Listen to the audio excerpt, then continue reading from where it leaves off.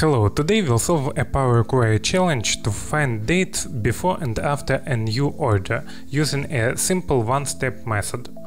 First we need to change our table into a list. This helps us use powerful list functions in Power Query. To do this, we add the column name in square brackets to our source data. Now our data is in a list format, and we can move on to filtering it. Let's create a new step. We will use list select function to filter our dates. We first remove our values that aren't dates using each underscore is date time.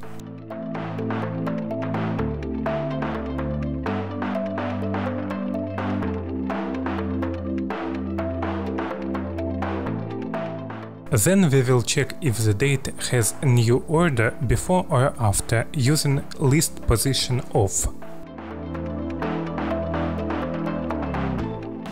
This function finds the position of a value in a list. Here we are using it to check if the dates are next to new order.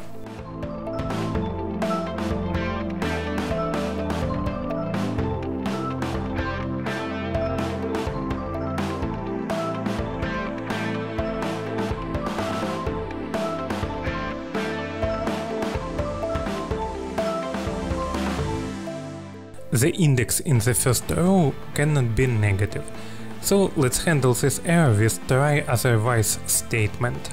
If there is an error, it sets the value to null, which list select can ignore. With this method, we can easily filter our dates before and after a new order in just one step. See you next time!